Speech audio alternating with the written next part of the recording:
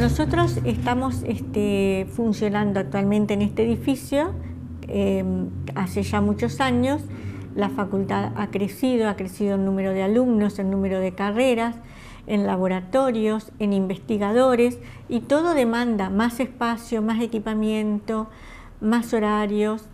En este edificio ya queda chico, este edificio era un banco anteriormente y que se adaptó y se le construyó, este, se le fue agregando eh, para poder funcionar.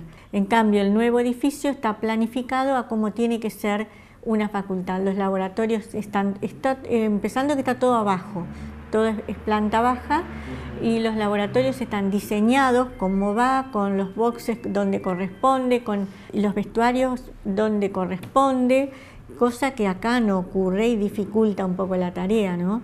Pero bueno, la, parte administrativa también está diseñada como debe de ir. Acá nosotros tenemos una parte acá en este piso, otra parte abajo, otra parte en otro lado. Este, o sea, es un diseño adecuado a como tiene que ir una facultad y van va a contener los mismos espacios, es decir, la misma cantidad de laboratorios, la misma cantidad de aulas, de espacios administrativos, la biblioteca.